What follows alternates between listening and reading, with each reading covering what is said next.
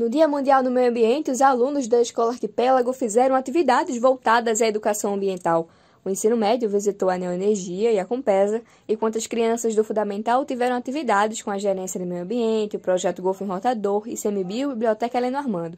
O sexto ano foi a Ilha Rata. É, vamos ter algumas palestras também. Um grupo seguiu para a Ilha Rata, né, onde a gente está fazendo esse desemparedamento para terem um pouco mais de contato com a natureza e conhecerem um, um melhor, conhecerem mais sobre a história daqui da, do arquipélago e das ilhas secundárias. As crianças adoraram as atividades e sabem bem o que é meio ambiente. E, tipo, eu cresci aprendendo a cultivar as árvores, a fazer essas coisas nela, sabe?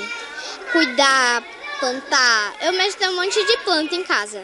Porque se não existisse o meio ambiente bom, a gente não estaria existindo. Ainda na escola, uma palestra com a ativista ambiental Domitila Barros que falou sobre o meio ambiente para as crianças. Então, para mim é um prazer e uma honra poder estar aqui hoje com elas na escola Arquipélago Fernando de Noronha, falando um pouquinho sobre sustentabilidade e relembrando que é um privilégio estarmos morando aqui nessa ilha com a biodiversidade tão coerente e para que isso continue assim, elas também precisam ficar de olhos abertos, se engajar e continuar fazendo esse movimento de sustentabilidade aqui em Fernando Noronha.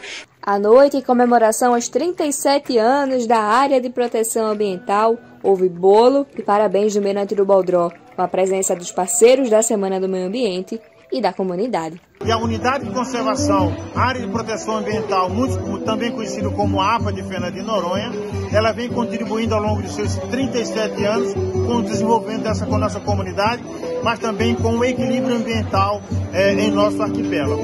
Então hoje, como de fato é um dia festivo, onde a gente vem comemorar o aniversário da APA, mas precisa realmente pensar o que a gente quer daqui para os próximos anos, para Fernando de Noronha em especial.